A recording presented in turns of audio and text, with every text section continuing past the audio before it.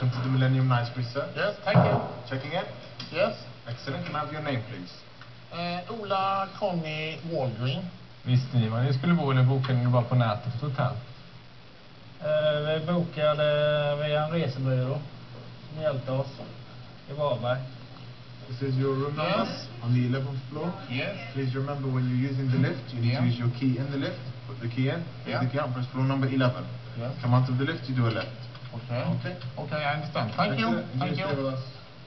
Så. Jag fattar ju mycket, men jag fattar inte riktigt exakt vad han sa va. Det var med 1100 va? 111.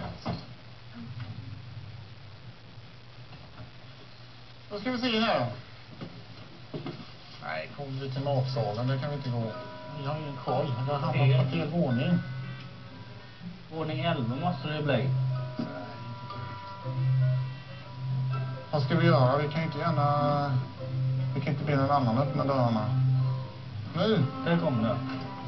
Vi ska till 11 nu. Okej. Han lyser ju inte. Nej, det var inget bra det här. Vi är på entrén. Nej, vi är på fel. Vi ska... Den lyder inte. Nej, det går inte. Vi går ut. Nej, det var inget bra det här. We are coming now up to uh, Yep.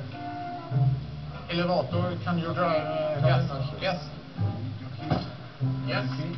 Put the key in. Aha. Take the key out. Ah, And the floor number is 11. Okej. Yeah. Thank you. Thank you. Jag ska tala om för dig du, att det, jag visste att kortet skulle eh, liksom användas någonstans va?